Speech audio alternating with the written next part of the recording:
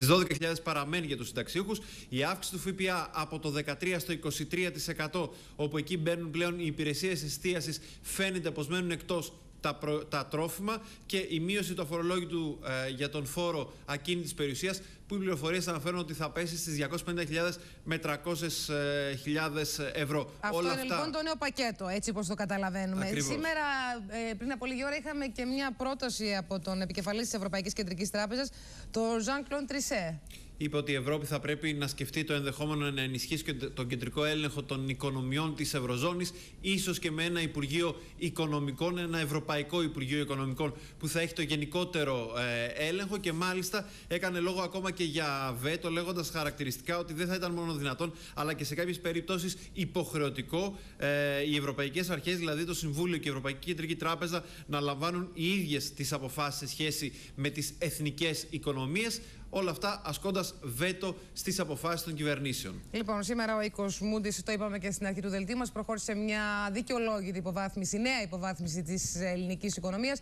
Είχαμε έντονη αντίδραση και από το Υπουργείο Οικονομικών. Είχαμε χθες την ανακοίνωση από τη Μούντις, όπου λέει ότι υποβαθμίζει την ελληνική οικονομία στο C ΑΑ1 από Β1 που ήταν. Ε, αναφέρει ότι η υποβάθμιση οφείλεται σε αυξημένο ρίσκο ότι η Ελλάδα δεν θα σταθεροποιήσει το χρέος της και από την άλλη ότι θα αναγκαστούν ιδιώτες δανειστές να λάβουν μέρος ε, στην διάσωση της ε, χώρας. Υπήρξε αντίδραση από το Υπουργείο Οικονομικών όπως είναι λογικό. Ε, είπε ότι η απόφαση υποβάθμιση από την Moody's γίνεται την ίδια στιγμή που βρίσκονται εδώ η Τρόικα και συζητά όλα τα ζητήματα και επηρεάζεται η απόφαση από την έντονη φημολογία στον έντυπο και ηλεκτρονικό τύπο και παραβλέπει τις δεσμεύσεις της ελληνικής κυβέρνησης να επιτύχει τον δημοσιονομικό στόχο για το 2011 και να επιταχύνει το πρόγραμμα των αποκρατικοποιήσεων. Σε αυτές τις διαπραγματεύσεις που αναφέρθηκε λοιπόν και η Moody's, αναφέρονται και σε δημοσίευμά τους οι Financial Times. Λένε ότι είναι πρωτοφανής η καθυστέρηση που υπάρχει ε, στις συζητήσεις μεταξύ Ελλάδας και Τρόικας ώστε να πάρθουν οι τελικές αποφάσεις και να κλείσει ε, το πρόγραμμα. Επικαλείται πάντως πηγές κοντά στις ε, συζητήσεις και λέει ότι τις επόμενες ημέρε θα ολοκληρωθούν οι συζητήσεις. Και κλείνοντας, να πω μόνο ότι σε ε, δημοσίευμα της Wall Street Journal αναφέρεται ότι στη συνάντηση που υπήρξε ε, στην, ε, μεταξύ των στελεχών των Υπουργείων Οικονομικών που προετοιμάζουν το Eurogroup στη ναι. Βιέννη υπήρξε ε, μια, ένας αγώνας ώστε να γεφυρωθεί το χάσμα μεταξύ της, της Γερμανίας και της Ευρωπαϊκής Κεντρικής Τράπεζας για την λύση που θα δοθεί στην Ελλάδα ώστε ε, να υπάρξει νέο δάνειο για το 2012-2013. Μάλιστα, λοιπόν, να πάμε τώρα και στον ανταποκριτή μας στο Βερολίνο, τον Γιώργο Παπά. Καθώς, Γιώργο, φαίνεται ότι με τις δηλώσεις που έκανε σήμερα η κυρία Μέρκελ ρίχνει το βάρος στις χώρες που έχουν πρόβλημα χρέους και πρόβλημα ανταγωνιστικότητας, δηλαδή και στην Ελλάδα.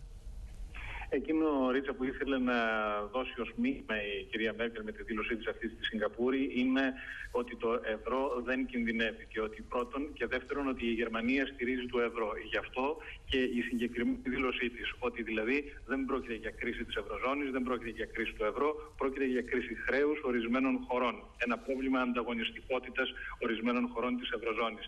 Λέγοντας μάλιστα ότι είναι κοινό συμφέρον των χωρών της Ευρωζώνης να αντιμετωπιστούν με συνέπεια και αποτελεσματικότητα οι δομικές αδυναμίες ορισμένων χωρών. Και όλοι μπορούμε να φανταστούμε ποιες χώρες εννοούσε η κυρία Μέρκελ, χωρίς να τις αναφέρει ε, συγκεκριμένα.